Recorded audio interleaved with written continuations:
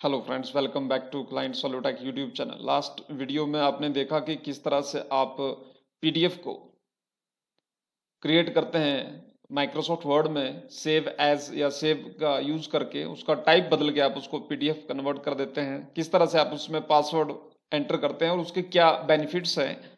सो बिगिनियर्स के लिए ये ट्यूटोरियल बना है। आप हमारे चैनल पर आए और इसको ज़रूर आप देखें। सो so, आज का जो हमारा विषय friends that is about organizational chart organizational chart जो है फ्रेंड्स होता क्या है? अगर हम इसको नॉर्मल तरीके से देखें तो ऑर्गेनाइजेशनल चार्ट जो आप ये देख रहे हैं ये ऑर्गेनाइजेशनल चार्ट है। लेकिन अगर इसको हमने डिफाइन करना है तो हम इस तरह से कह सकते हैं कि organizational chart is a way और अ प्रोसेस जिसके ज़रिए हम जो अपना बिज़नेस है जो हमारी क्रिया है कोई भी वर्क है कोई भी एक प्रोजेक्ट है, उसको हमने सिस्टमेटिकल तरीके से मैनेज करना है, उसको हमने उसमें रोल्स डिफाइन करने हैं रिस्पॉन्सिबिलिटीज डिफाइन करनी है, और बिज़नेस की डिटेलिंग के लिए हम इसका इस्तेमाल कर सकते हैं, और mainly it's a visual representation of your organization अगर हम इसको ऑर्गेनाइजेशनल चार्ट कहते हैं तो it's a visual representation of our organization so friends इसमें मैं इंक्लूड किया है कि किस तरह से यूट्यूब कंटेंट क्रिएटर जो है वो अपना जो चैनल्स है, जो बड़े बिज़नेस बड़े चैनल है, वो किस तरह से अपना जो बिज़नेस है, उसको कैसे मैनेज करते हैं और कैसे आप भी इस तरह का चीज़ें आप कर सकते हैं। बिज़नेस प्रोसेस और सिस्टम बनाने के अपने बेनिफिट है। इससे आपकी समय की बचत होती है और जल्दी ये काम होता है और अधिक काम आप कर सकते हैं। विजुअल रिप्रेजेंटेशन मैंने आपको दिखाया।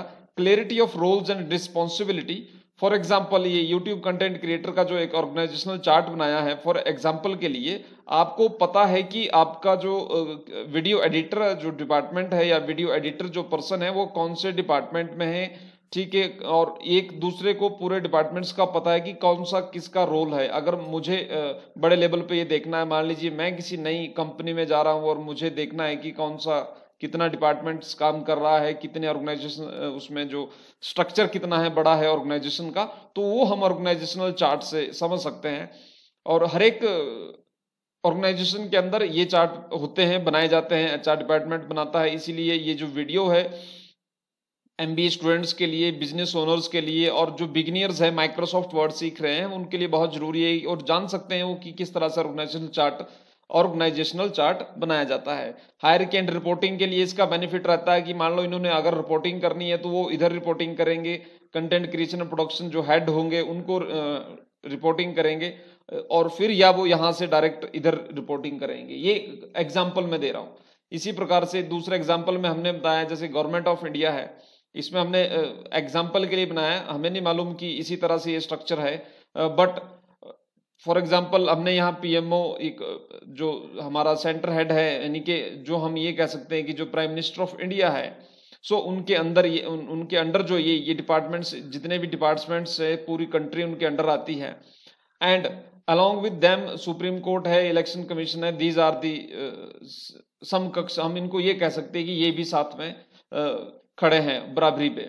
लेकिन mainly because the powers of PM is higher so एक एग्ज़ाम्पल के लिए बनाया है कि आप किस तरह से हम किस तरह से उसको चेक कर सकते हैं, किस तरह से आप देख सकते हैं। स्टूडेंट्स के लिए जो एग्ज़ाम्स की तैयारी कर सक, कर रहे हैं, कोई एच एस या आई एस यूपीएससी के लिए तैयारी कर रहे हैं तो वो ऑर्गेनाइजेशनल चार्ट बना के माइक्रोसॉफ्ट वर्ड में उन्होंने अगर पूरे सिस्टम का अगर एक ढांचा, एक स्ट्रक्चरल तरीका है ये डाटा को मैनेज करने का इंफॉर्मेशन को तो स्ट्रक्चरल वे से एक स्ट्रक्चर आपके पास बना होगा अगर आप एग्ज़ाम की तैयारी कर रहे हैं तो आप एक ऐसा चार्ट्स आप बना सकते हैं बुक्स में आपने ऐसा देखा होगा।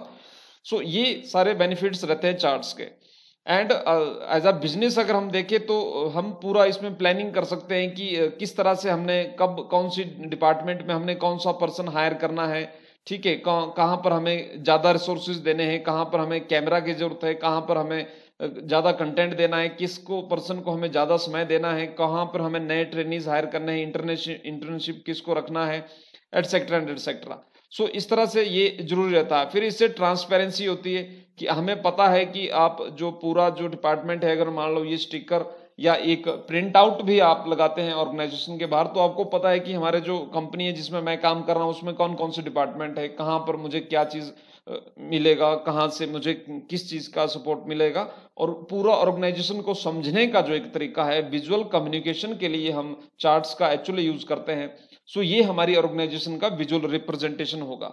सो अब इसको बनाने के लिए, बनाने का जो तरीका है इसमें हमें, मैंने जो एग्जाम्पल्स दिए हैं, वो इस तरह से आप ये बना सकते हैं। ठीक है, मान लीजिए वीडियो क्रिएशन प्रोसेस है तो आप प्रोसेस बना सकते हैं। इसके लिए आपको क्या करना होगा? आपके कंप्यूटर में अगर माइक्रोसॉफ्ट वर्ड उपलब्ध है और इंस्टॉल्ड है तो आप क्या करेंगे कि हमें चार्ट लेना है ये ऑर्गेनाइजेशनल चार्ट बनाना है तो हमें स्मार्ट आर्ट में जाना है इंसर्ट में। ये मैं आपको देखिए न्यू मेन्यू में उसमें बताता हूँ। एक ब्लैंक डॉक्यूमेंट में सो आपके लिए इजी हो जाए। इंसर्ट में जाना है स्मार्ट आर्ट पे क्लिक करना है। स्मार्ट आर्ट पे क्लिक करने के बाद आपके पास जो है, ये बहुत सारी ऑप्शंस आएगी। जैसे हमने हायर की, इस पे जाना है और ये हमने सिलेक्ट करना है। अगर हमने सिस्टम तैयार करना है, अगर हमने ये अपना जो ऑर्गेनाइजेशन का चार्ट है, वो बनाना है तो हमने ये सिलेक्ट करना है। इस तरह से सिलेक्ट करके आपके पास ये शीट आएगी। उसमें विभिन्न टाइप के लेआउट्स आएँगे, जो आप ऊपर से ये देख सकते हैं।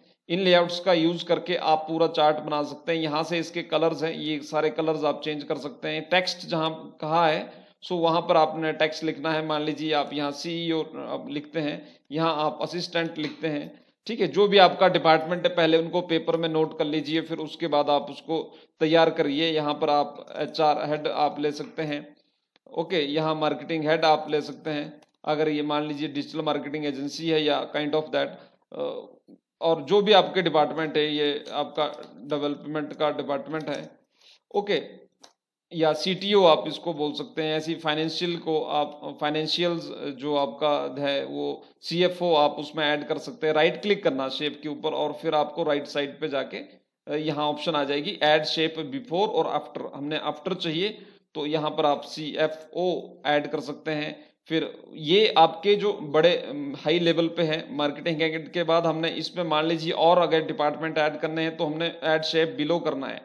अगला जो डिपार्टमेंट है, मान लीजिए आपको यहाँ करना है मार्केटिंग हेड हो गया ना एक अब हमने करना है इसमें मार्केटिंग के भी बहुत से टाइप है। एक होगा डिजिटल मार्केटिंग के हेड और एक रख सकते हैं हम ट्रेडिशनल मार्केटिंग के लिए जो सिस्टम होता है, जो ऑफलाइन या प्रिंटेबल मार्केटिंग बट आप इसको मार्केटिंग में ही रखें तो दैट्स बेटर सो हमने इसको लेना है इस तरह से कि हमने ले लिया एक एस हेड और दूसरा हमने एडवर्टाइजिंग एड ले लिया।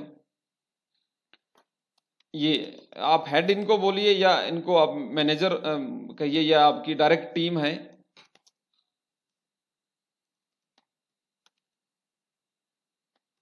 ठीक है, या आप प्रोजेक्ट मैनेजर जैसे अगर आप डेवलपमेंट का है तो उसमें आपको प्रोजेक्ट लीडर प्रोजेक्ट हेड फिर उसके अं-, अंदर टीम फिर हर प्रोजेक्ट वाइज आप उसको डिवाइड कर सकते हैं। ये असिस्टेंट है जो इन्होंने गाइडलाइन दी ये असिस्टेंट जो है इनको आगे गो थ्रू करेगा और ये जो चारों जो डिपार्टमेंट है वो इस इन पर्सन से बात करेंगे एंड देन वो सीईओ से कम्युनिकेट करेंगे।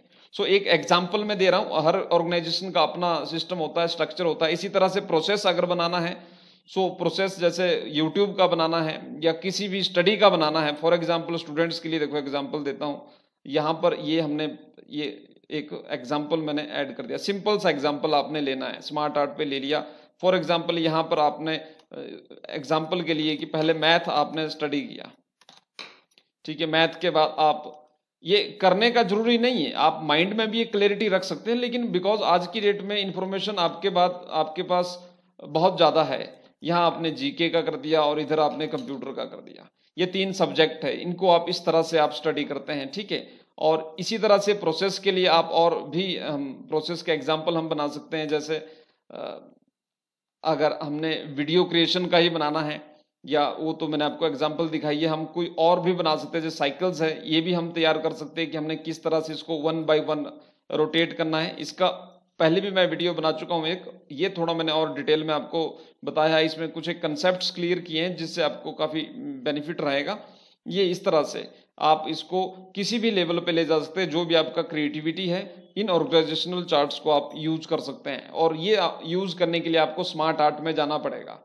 स्मार्ट आर्ट ऑप्शन लेना पड़ेगा माइक्रोसॉफ्ट वर्ड के अंदर। हालाँकि इसके वेब पे भी बहुत से टूल्स हैं, लेकिन अगर आपके माइक्रो माइक्रोसॉफ्ट वर्ड अगर कंप्यूटर में इंस्टॉल है तो आप बना सकते हैं।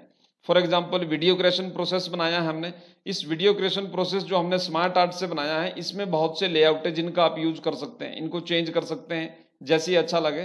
कलर्स आप ऐड कर सकते हैं और इसमें अगर बदलाव करने हैं वो आप कर सकते हैं। कोई यहाँ पर आपने कोई और नई लाइन ऐड करनी है तो वो भी आप ऐड कर सकते हैं। सो so, इससे बेनिफिट रहेगा कि आपका जो कम्युनिकेशन है जो डिटेलिंग है और जो एक रिप्रेजेंटेशन है, आपको हर एक डिपार्टमेंट का जो अपने, जो प्रोसेस है वीडियो को क्रिएट करने का, उसको बनाने का एक आपका सिस्टम रहेगा। आपके पास चार्ट बना होगा, आप उसको प्रिंट आउट करेंगे। कंट्रोल पी आपने प्रेस करना है, अगर आपने प्रिंट करना है या प्रिंट ऑप्शन पे भी जा सकते हैं, और फिर जो कॉपी आपको निकालनी है, वो आप करें। अगर आपको इस तरह हॉरिजेंटल ये निकालना है तो उसके लिए आप लेआउट में जाके इसको ओरिएंटेशन जो है, इसका पोर्ट्रेट या लैंडस्केप ये दोनों देखें। अगर आपको वर्टिकली निकालना है तो आपने ये पोर्ट्रेट रखना है। और अगर लैंडस्केप में चाहिए लैंडस्केप में क्या होगा कि वो थोड़ा सा आपको बड़ा आएगा। और अगर राइट लेफ़्ट से राइट की तरफ़ अगर ज़्यादा है, यानी कि इस तरह से है जिसमें फाइव आपको अलग अलग सेक्शन दिखाने हैं क्रिएशन के प्रोसेस के तो आप इसको राइट ये लैंडस्केप ले सकते हैं। अगर पोर्ट्रेट लेना है तो पोर्ट्रेट में आप वर्टिकल ले सकते हैं। तो आपको पता रहेगा कि सबसे पहला ये स्टेप है सेकंड स्टेप ये थर्ड स्टेप ये फोर्थ ये फिफ्थ ये सिक्स ये। सो so, कोई नया पर्सन है कोई इंडिविजुअल है या कोई लर्नर है या जो मैनेजर है या कोई भी।